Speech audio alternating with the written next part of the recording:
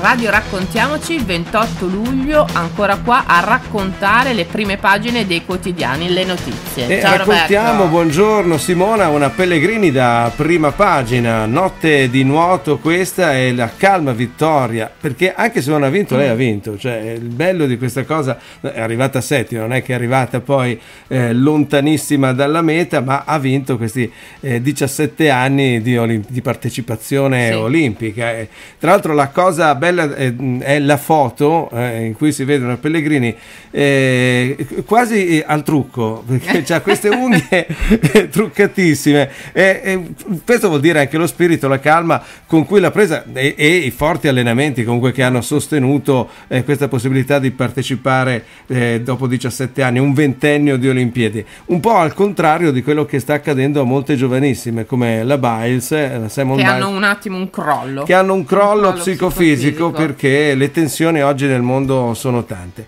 A proposito di tensioni, allora, le prime pagine dei giornali, da ANSA, dal nostro momento ansia, alle prime pagine. Ansia, ansia per la scuola, devo dire. Allora, la stampa titola A settembre scuola in presenza. Piano del governo per rientro in classe e poi si parla anche del- dei trasporti. Finalmente vediamo cosa diranno sui trasporti.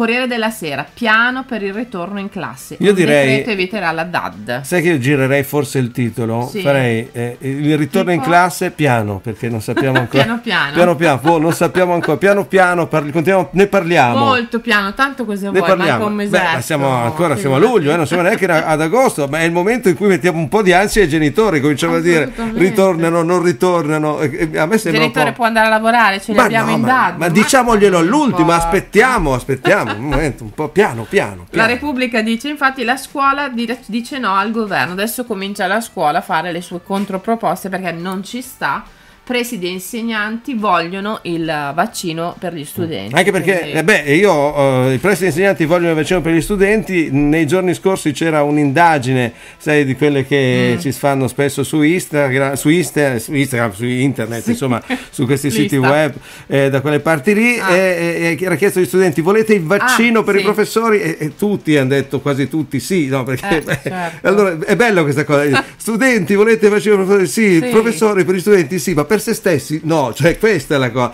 E È poi ci sta di mezzo il governo che deve Draghi. eh, sollecitare, Draghi, sollecitare tutto eh, questo. Green dragherà. Pass però, come ci dice Mm. Quotidiano, aspetta un attimo, Il il, tempo, tempo, il il Green tempo. Pass però è utile solo dopo due dosi, quindi Vabbè, poi ognuno indecisi, vabbè, ha le ok. sue utilità, eh, cioè questo penso che non c'entri molto eh, il fatto dell'utilità. Il Green Pass in questo momento è utilizzato per Mm. far fare il vaccino, non ha un'utilità. Chi, chi va a, a studiare questi titoli forse non ha capito il perché si fa il Green Pass. Ma Vabbè, volevo da- darti una Sì. notizietta piccolina di economia domestica. Il canone RAI fuori dalla bolletta elettrica. L'Unione Europea ha detto ad- a- al nostro, diciamo, presidente, insomma, basta, è una forzatura impostata sulle bollette. Quindi il canone sarà che era stato unito alla bolletta elettrica diviso eh, sarà diviso, quindi avremo Vediamo. un altro bollettino per pagare il canone, cioè non è che cambia si paga il canone, cioè bene o Sì, male, certo. eh, questo era un po' più automatico, abbiamo trovato questa sorta di automatismo che invisa a molti italiani, cioè stava veramente sulle palle a Sì, tutti, esatto. però eh,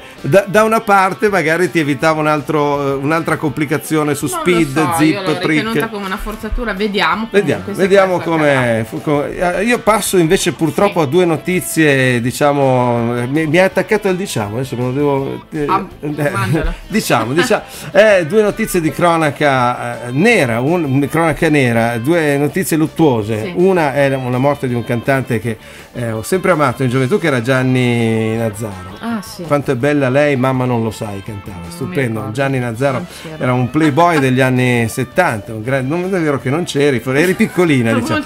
Eh, e poi invece andiamo adesso sui giornali locali e si parte da Mantova e anche qui si parla purtroppo di una morte.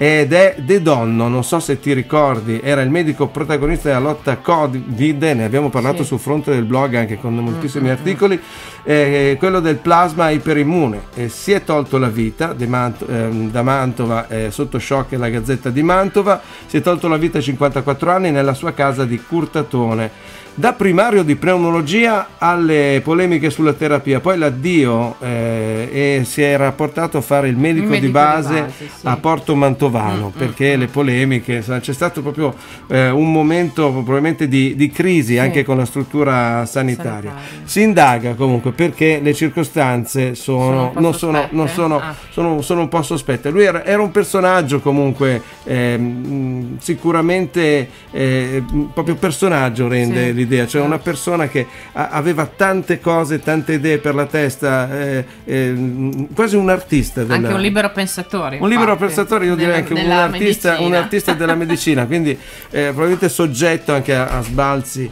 eh, d'umore o chissà che perché, che perché, eh, perché su questa cosa del plasma iperimmune poi eh, c'è stato eh, un, un giro di vite, ma Mm. ricordiamoci anche un giro di, di- di- di vari interessi, vari eh, interessi, interessi sì. multimiliardari. Quindi penso che ci siano tutti eh, tut- le, cose, gli input. eh, dovranno mettere insieme un po' di punti. Dovranno mettere forse, insieme un po' di eh? punti per, per capire. Ci sono capire. tutti gli ingredienti per un grande giallo. E veniamo al giallo, anche qui, ritorno al giallo della scuola, però Mm. in questo caso lo facciamo in, in- in cronaca locale. Sì. E abbiamo il secolo XIX che dice scuola, piano per il rientro. Io dico, rientro, piano. Rientro, piano, Eh, piano per i prestiti al governo. Vacciniamo gli studenti, come avevi detto anche te. L'Arena.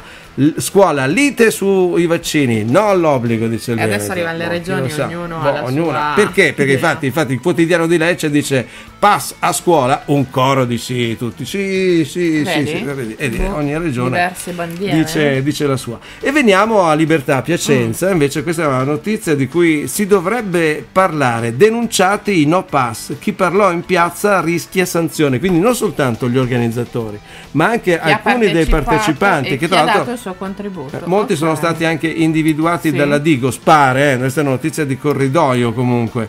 Eh, e quindi in prima pagina, Libertà di Piacenza, si, si- si parla di questa denuncia, Denuncia. per i no pass.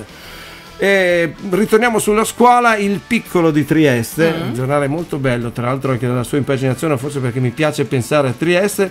Eh, notizia positiva, Sì. a scuola di futuro, 23 corsi in prima pagina, questa è la notizia da prima pagina per il piccolo, e 23 corsi per trovare lavoro. L'83% di chi frequenta gli ITS, gli istituti tecnici regionali, trova occupazione entro un anno, dal tecnico biomedico al disegnatore navale, le competenze più richieste. Quindi un invito a fare delle scuole specialistiche perché poi il lavoro si trova.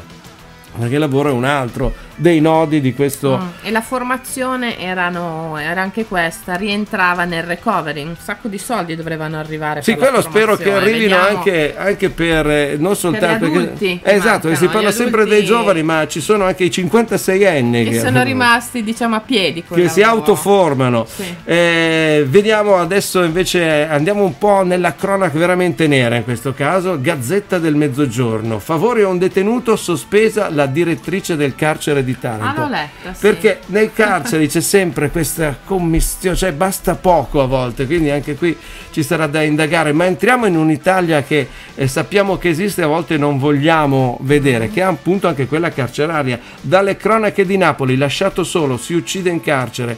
Eh, Secondigliano Sigignano fu protagonista di una rocambolesca fuga dal penitenziario di Rebibbia, venne preso dopo sei giorni a Melito. Eh, ci aveva già provato tre giorni fa e invece insomma, eh, eh, c'è, c'è- c'è arrivato anche perché il carcere è eh, una situazione limite che noi mettiamo anche ai limiti spesso della, della nostra mente. Quindi lì accade di tutto. Adesso mh, con eh, lo scandalo eh, di, di- di qualche settimana fa no, delle violenze Sì. nelle carceri c'è un po' di attenzione mediatica attenzione che arriva lì co- come un faro ma poi eh, sfugge via e andiamo al maltempo perché in questi giorni abbiamo avuto anche queste notizie partendo dal, dal lago, la provincia di Como che eh, titola Disastro sul lago, piogge violente provocano alluvioni e frane, copol- colpiti soprattutto Cernobbio, Brienno, Laglio, Lezzeno e Schignano, sponde distrutte, case, strade danneggiate, auto travolte. È il, è il momento della conta dei danni. Conta dei danni che in questo momento si sta facendo anche nella zona tra il Reggiano e Modenese. Anche lì, infatti, Anche i giornali lì. cominciano a parlare di conta dei, dei danni e di, di rabbia, poi perché eh, si è impotenti di fronte a questa forza del maltempo. Voglio chiudere con questa mh, carrellata locale con il Corriere di Siena sempre giovani, Sì. sempre cultura. Bonus cultura, diciottenni senesi truffati. Al momento Eh, di sì. pagare scoprono che i soldi sono spariti.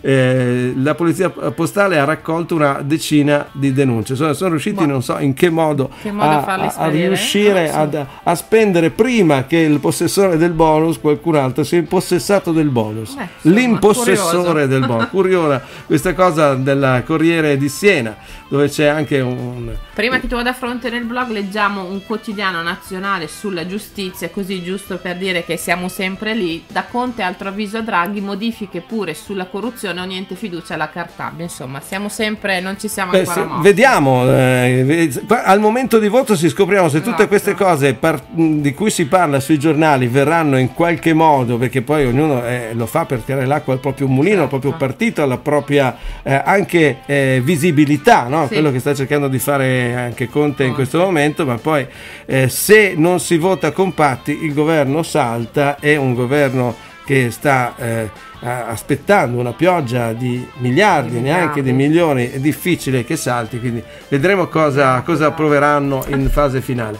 Fronte del blog eh, ci sono due notizie interessanti, una è di Mario Martinetti, cioè parla il dottor Mario Martinetti, gli articoli sono entrambi di Stefano Mauri, questa di cosa raccontano le statistiche sulla vaccinazione. Sì, Se avete tempo molto leggetevelo e così uno cerca di capire perché è importante vaccinarsi, al di fuori di quelle cose che, che- che dicono eh, e, e capire cioè, che è proprio un po' il fattore di riuscire in parte a contenere questa, questa, Sì, questa ci dà epidemia. esatto, Da un un'interpretazione quadro- sui dati, quindi una Esatto. cosa abbastanza pulita, equilibrata, andate a leggerla. E poi ci facciamo un risottino allo zafferano perché Sì, questa imprenditrice buono. giovanissima, Arianna Larini, che ha creato questo eh, zafferano, di- già lo zafferano costa molto, Sì. il, il suo è il top del top, Top. guarda la scatolina che c'è in foto di questa prima, lo zafferano italiano artigianale, tra i migliori al mondo, va conosciuto. E beh, è- Confezionato come un gioiellino. è un gioiellino, lei eh. fe- se mi ricorda quelle scatole di caviale che arrivano dalla, dalla Russia che Ah, costano tra sì. l'altro